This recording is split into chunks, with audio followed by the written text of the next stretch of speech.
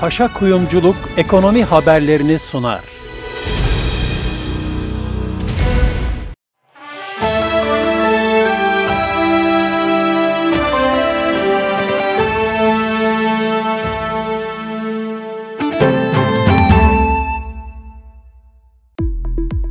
Borsa İstanbul günü artışla kapadı. Borsa 0,53 puan artarak günü 4989 puandan kapadı.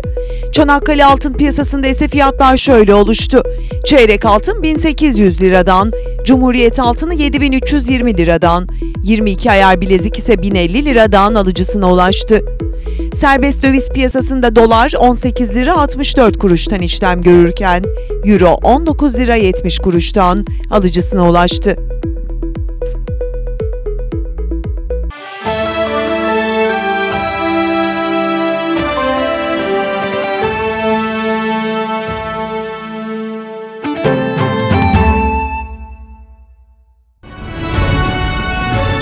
Paşa Kuyumculuk ekonomi haberlerini sundu.